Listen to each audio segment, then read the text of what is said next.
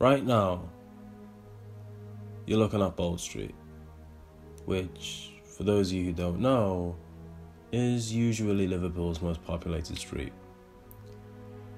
If you just stop for a moment and take a look around, you'll truly realize how empty this place is in comparison to pre pandemic.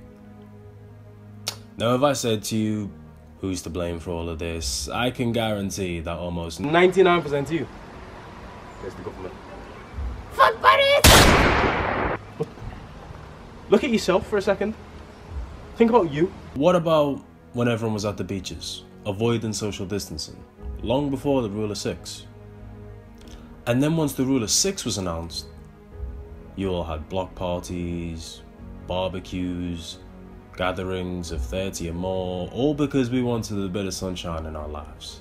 I'm sure most of you watching this are thinking, oh, this kid's a Tory, and believe me, I'm not. I wasn't even allowed to vote, but if I was, I definitely wouldn't have put a racist in charge of the country. These people aren't the greatest people either. They put us on a pathetic lockdown that allowed people to just finesse the rule book or simply not listen because they don't take you seriously. They made pubs shut at 10 apart from their own because apparently they're all immune to COVID 19. And most recently, they made the mighty decision of shutting down gyms but keeping restaurants open, allowing people to still get pissed and now use food as a coping mechanism for their depression, which is just going to result in an increase in obesity across the country.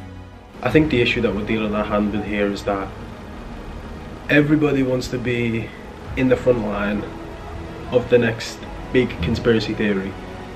Most people are putting a potential government hoax over the idea of their own health.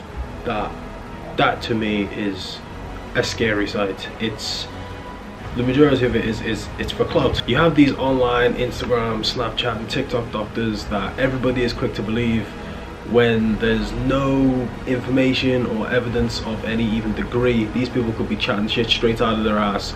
They're just another person trying to get some quick clicks, some quick clout to make some fame online. But when the scientists speak out and the government speak out, the people who have done the work to get in the position to speak for a country, to speak on a virus, on a pandemic, everyone's quick to say, oh, it's a lie oh, they're, they're putting chips in our brain, oh, they're trying to control us.